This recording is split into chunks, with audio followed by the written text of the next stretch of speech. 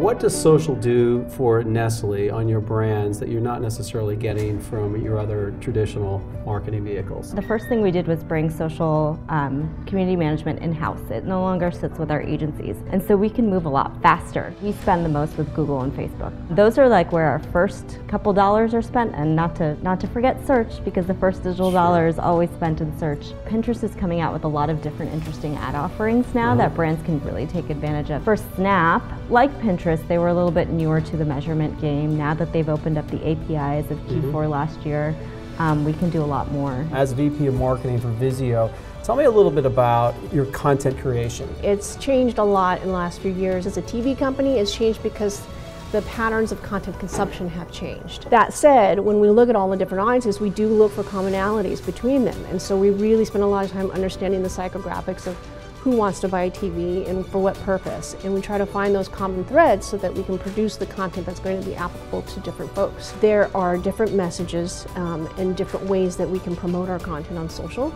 That's actually become very effective in helping folks who are in market and we can really understand them and we have great data to understand where they're at in that journey and be able to help push them over the edge to to go buy. Scaling our influencer marketing program is what helps us the most. We have found that using the big influencers with that big blast is what really triggers conversation. And then the micro influencers with their own spheres of reach are helping us really sustain that conversation.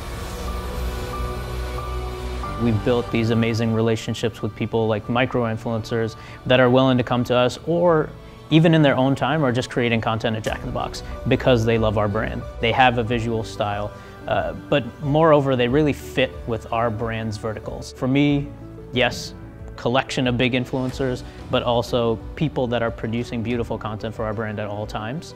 Uh, and to me, that's not just an influencer anymore, right? They are now an advocate for your brand. Tell me why you think influencer marketing is so effective. Well, for us, especially in print, uh, we had a real task about a year ago, which was how can we really make a, a whole market that is somewhat irrelevant to a very digital first audience.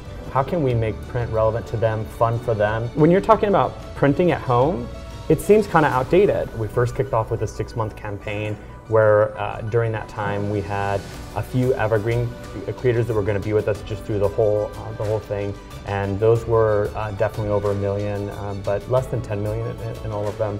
And uh, then we had a series of smaller audience creators that had really high engagement. Mm -hmm. And uh, mm -hmm. so we tried to have a, a, nice mix. Initially, we had just metrics around reach and sentiment and could we get people talking about it? Could we get people to think it was cool even?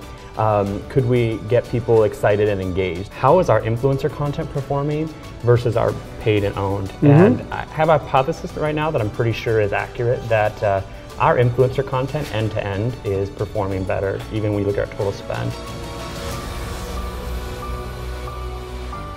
Tell us a little bit how you're using influencer marketing as a complement to your overall campaigns. Uh, I would say that influencer marketing has to do with basically almost every single one of my clients that I have right now. It's a also a perception for clients as well, some agencies too, to not focus on, oh, they have 10 million subscribers and I can pay this much money for 10 million subscribers, or I can get 100 so different um, influencers that have 30 to 50,000 subscribers mm-hmm. and get so much more deeper engagement right. and also not trying to screw around with the brand integrity of what the influencer that you're speaking about. Mm-hmm. There's no reason of why I should be placing a product or have them talk about something that should not is not in their normal vernacular. Let's fast forward one year and then two years and tell me what influencer marketing looks like. I think it will continue to grow tremendously, right? As as people come up in the digital atmosphere. They won't come up per se as YouTube stars. They will come up, you know,